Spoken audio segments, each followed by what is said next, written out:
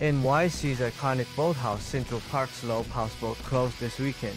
It's upsetting to see unwelcome consequences. Despite being told of the shutdown, I went twice to see for myself. Loeb's Boathouse is Manhattan's only lakeside restaurant. Dean Poll closed the boathouse and its connected boat rental station on the lake on Saturday, citing rising labor and goods costs. This is America's most tragic park prank. Permanent shutdown has unimaginable consequences. This has to be the most sad and awful practical joke ever played in a public park in the United States. What would happen if it led to a complete shutdown is beyond comprehension. The boathouse closed in October 2020 because of the pandemic, but reopened in March 2021. The city's Parks and Recreation Department isn't participating in the discussions. What would happen if it led to a complete shutdown is beyond comprehension. Do those political officials realize how many New Yorkers and Americans they have hurt? Do those political officials realize how many New Yorkers and Americans they have hurt?